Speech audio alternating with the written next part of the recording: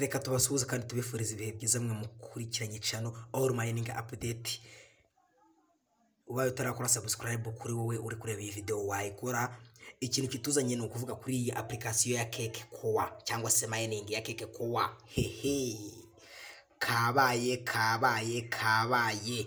Ni cyo kintu kituzanye abantu mukora mining abantu basuzugura mining muzi ni inshuti zanyu zimubibwira bagapinga muzabareke. Time will tell igihe kizababwira. Icyo tuzanye kuri iyi keke kowa rero ni inkuru idasanzwe ni inkuru yagaragariye buri wese muri mining yiwe ariko ifite impamvu ebyiri nibura twagenderaho. Si twe ba nyir'umushinga ariko ubusesenguzi buriho ni cyo kintu kituzanye muri iyi video kugira ngo ubanze umenye n'impamvu iba yateye ibyo ngibyo kugira ngo bibe. Nicyo kintu kituzanye muri iyi video. Hehe hahiye. Ikintu kituzanye muri iyi video rero kuri iyi mining ya keke kuwa ndagusaba kugira ngo wowe ureba ino video kora subscribe niba utarayikora icyo ni kimwe. Kora like ukore na share iyi video uyisharinge ku bantu batandukanye. Ikindi kandi mubwira cya nyuma gishoboka ijana ku ijana irinde kuyitarutsa kuko ino video igiye kunyuramo amakuru y'ingenzi kuri iyi mining ya keke kuwa amakuru ari ingenzi atariho ivumbi na mba. Yes dutangire video yacu. Ubu uyu ugeze kuri twita ku rubuga rwabo rwa twita ni ho amakuru ya mbere tuyasanga. Kugira ngo ujye ubona bikoroheye ugere kuri aha byawe n'abantu biyitirira amaka akawunti nushaka kugira ngo ubone twita yabo iri ofisho ujye ujya muri apu yawe ya mayiningi ukifungura uhitemo twita cyangwa se telegaramu uzajya uhita winjira muri akawunti yabo bwite nyirizina. Nk'uko muri kubibona iyi ni videwo sorry iyi ni video ni, tweet imazeho amasaha umunani. Ndakeka muri kubibona neza cyane. Igaragaza ko mining yabaye speed times 5 in 3 days. Ni ukuvuga ngo abantu twese hafi ya twese murabizi twinjizaga eshatu n'ibice bitanu ku isaha imwe. Ubu biremewe ko ziba eshatu n'ibice bitanu ukubye inshuro eshanu mu minsi itatu. Iyo ni promotion baba bahaye ku muntu ukora mayiningi ya keke kowa iki rero ni ikintu kituzanye ni ukugira ngo tubasobanurire impamvu biteye ibi byose kugira ngo mwese muyisobanukirwe neza ejo utazabona ibintu binabaye ngo wibaze impamvu ngo ibiteye ibiki n'ibiki ubundi mayiningi nyinshi zose hafi ya zose ahubwo aho kugira ngo bongere izo winjiza ziragabanyuka. Ibyo ni ibintu musanzwe muzi mumenyereye. Akimayiningi yo ni nk'agashya iba ikoze. Ikituzanye rero muri iyi video ni ukugira ngo dusobanukirwe impamvu yaba yateye ibi ngibi. Mfite impamvu ebyiri nibura nagenderaho nkakwemeza impamvu iba yatumye batanga itangazo nk'iri ngiri bakemera kubositinga ntabwo ari inkuru mbarirano wenda ngo biri kuri twita gusa niyo ugiye muri akawunti yawe kwa kundi dukora mayiningi ugaca hano kuri airdrop. Ntabwo ari inkuru mbarirano ni ibintu byabaye kuri buri muntu wese ufite akawunti nawe niba uyifite jyaho ubirebe urabyibonera. N'amaso yawe abiri urabyibonera ko mayiningi yabaye busitedi ubwo rero dutegereze muri hangana ku bw'amanetiwaka ariko ni inkuru nziza udakwiriye kwihererana nk'umupiyoniya wa keke kuwa ugakora like kuri iyi videwo ugakora sheya ukayisangiza n'abandi uziba mayininga keke kuwa. Kuko ni inkuru nziza ni inkuru idasanzwe. Netiwaka ziba zidutengushye ariko reka twongere dutangire. Murabizi netiwaka ziba ari ubufu ariko byanze bikunze amakuru yatuzanye agomba gutambuka. Wowe ikiri ngombwa nuko udatarutse iyi videwo ugomba kuyireba yose uko yakabaye step by step.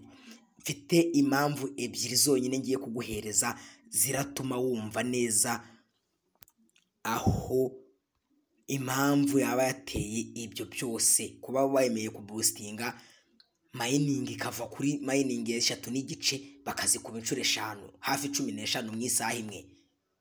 Iki ni cyo kintu kituzanye kuri iyi videwo kugira ngo usobanukirwe byinshi. Alright nk'uko muri kubyibona neza cyane rero ahangaha murabibona. Ubundi hano twerekaga reti zabaga ari eshatu n'ibice bitanu. Ariko kubera ko bazi kubye gatanu ubundi cumi na zirindwi n'ibice bitanu pa awa hehe kabaye. Ikintu kituzanye rero namwe murabyibonera aka kamenyetso hano kuri mayiningi barabikwereka ko niba winjizaga eshatu mu isaha imwe ubu ziri kuba ari cumi na zirindwi. Nizo ziriho. Niba winjizaga makumyabiri kuba gatanu ubwo ni ijana mu isaha imwe. Muri iyi minsi itatu niko bigiye kuba bimeze. Ikituzanye muri iyi videwo rero ni ukugira ngo tubahe ingingo nibura ebyiri zonyine. Ntabwo mvuga ibindi bintu byinshi. Ndavuga ingingo ebyiri zonyine z'ingenzi zishobora kukwemeza ko uyu mushinga uri siriyasi cyangwa se impamvu waba ukoze n'ibi ngibi. Kuri mayiningi nyinshi zitajya zinabikora. Fasiti katugaruke kuri homu ingingo ya mbere iri muri apu byose ndabigusobanurira biri muri apurikasiyo yayo ya keke kuwa kugira ngo wumve impamvu ifatika. Ikintu cya mbere kituzanye nk'uko muri kubibona hano muri sikirini ni toto sapurayi bana b'imana dore ni ahangaha ruzingiye.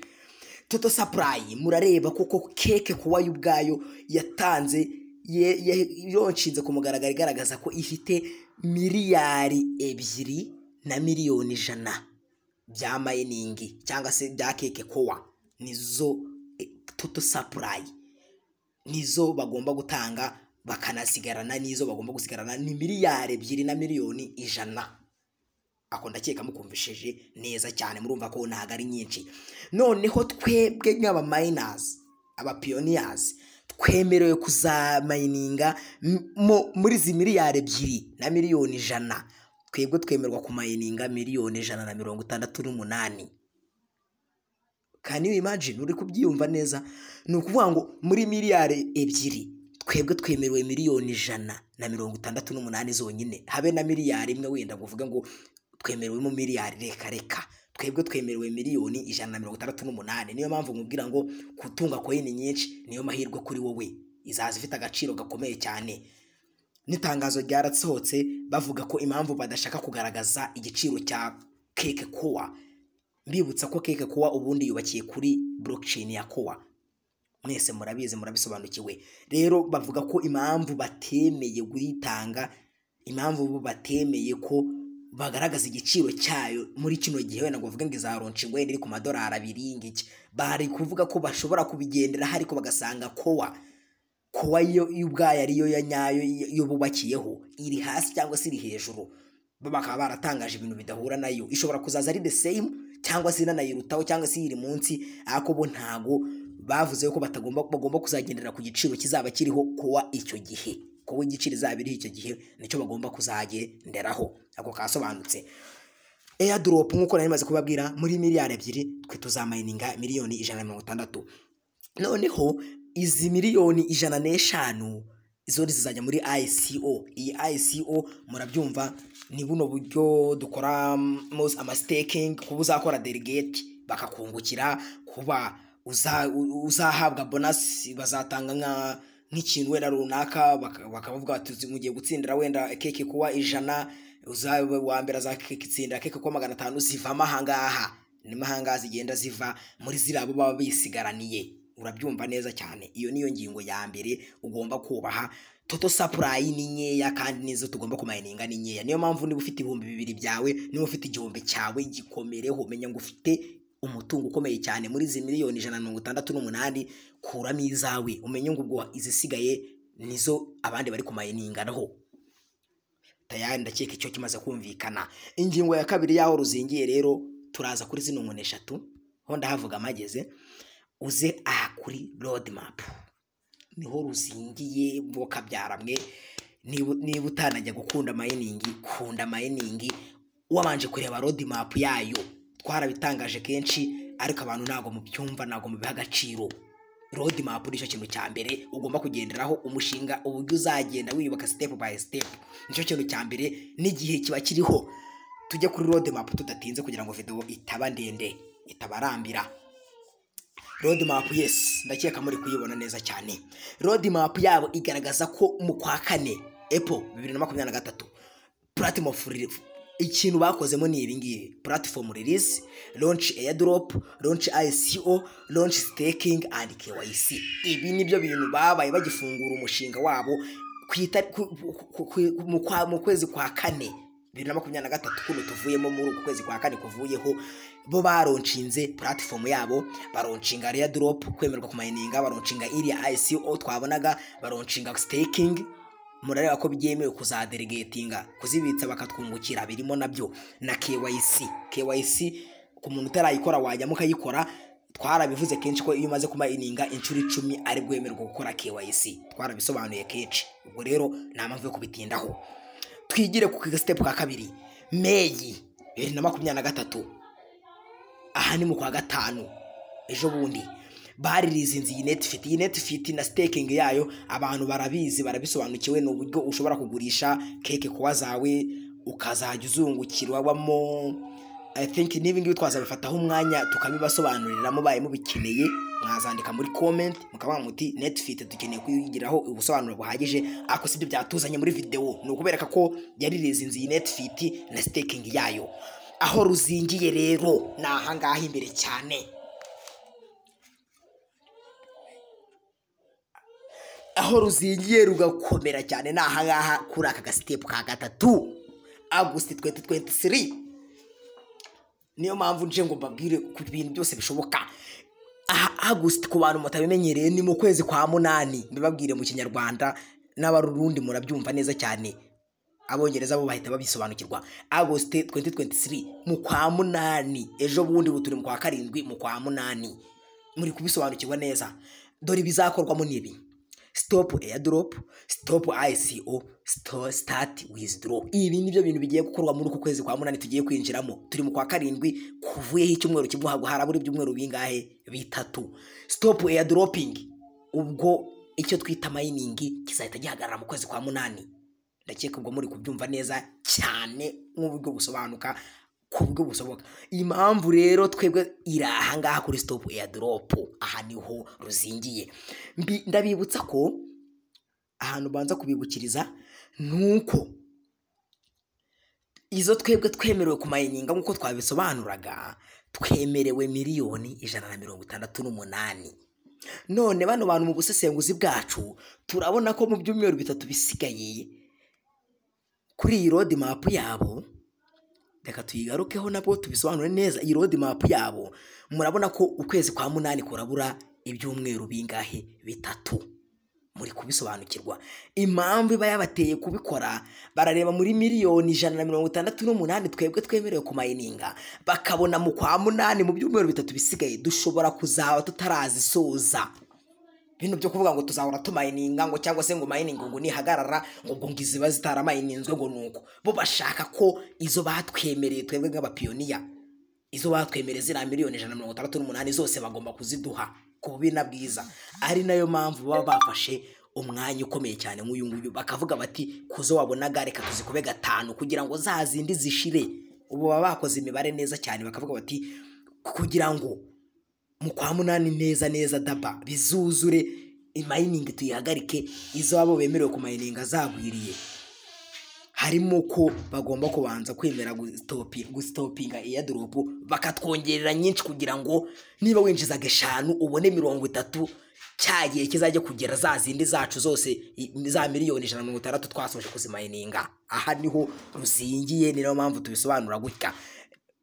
Ubwo rero mutibaza n'impamvu ngewe impamvu mbona ishoboka ya mbere iya mbere ni iyi ngiyi. Twemerwa kumayininga nkeya kandi kuba ari nkeya bivuze ko mu kwa munani kumayininga bizahagarara. None miliyoni ijana na mirongo itandatu n'umunani batwemereye ntabwo tuzaba twazisoje. Bahitamo kubona ko dukwiriye kugira ngo tuzibone nta bundi buryo twakoresha butari ubwo kugira gute. Kuzimayininga ariko mu buryo bwihuse ukabona nyinshi. Ubu muri iyi minsi itatu nyamuneka umuntu utari gukora mayiningi haguruka wongere ukore mayiningi ya keke kowa murabona ko iyi sito bazasitopinga na ya ICO batangira icyo bita withdraw. Muri uku kwa munani ni ho ruzingiye. Noneho mu kwa cyenda mumeze road map yose nyibasobanurire icyo bita listing. Ibi mwese mwaba mubimenyereye mu kwezi kwa cyenda listing. Aha ni ukuyibona kuri za OKX kuzayibona kuri za Binance. Ni ukuzayibona eh, eh, ahantu hose uzi hashoboka na za nikoyini zayirisitingi iyi ngiyi nibireba nabi. Urumva ahandi ni oktoba aha ni mu kwa cumi. Market place ku buryo uzajya uyisanga ahantu hose ku ma market ikora. Izwiho izwiho. Bibiri na makumyabiri na kane januwari rero aha ni ukuyikoresha. Noneho ukajya uyikora ukajya ukina nk'ikintu uka- ukayinjirizaho. Aha bazaba batanga amahirwe utsinde uyigeyininge bayiguhe utsinde utsindire keke kowa rero nyamara aho nendaga kubasobanurira ni aho ngaho kuri agost aha ngaha nta yindi mpamvu yaba yateye ibi byose bo baba bakoze imibare bakareba bati izo twabemereye ni nkeya.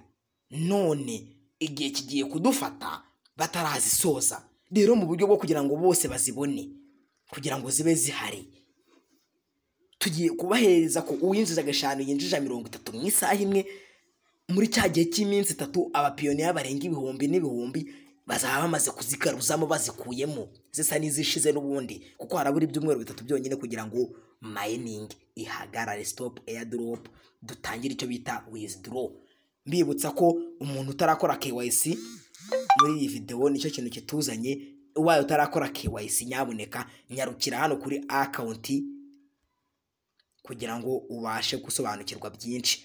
Nyarukira kuri akawunti yawe urebe niba wemerewe gukora KYC mbibutsa ko inshuro icumi KYC ubu yemerewe. Kuba ufite dokumenti yawe ntabwo ari ibintu bigoye ni ibintu biri very simple kubikora. Icyo ukora ugomba kuba waramaze kubitegura neza ufite na nuza yawe. Murabona ko ngewe ID verification yamaze kuba verified. Ubwo rero ni wowe usigaye kugira ngo ubikore. Bikore rero kugira ngo ubone amahirwe akomeye cyane yo kwinjiza nyinshi kandi uzanazibikura. Mbibutsa ko iyo wamaze gukora KYC yaremewe izo wemerewe we ziri verified. Bazishyira ahantu ho kuzakora withdraw. Hehe aha ni ho ruba ruzingiye niyo mpamvu mbabwira ngo uyu ni umushinga ntabwo ari agashinga.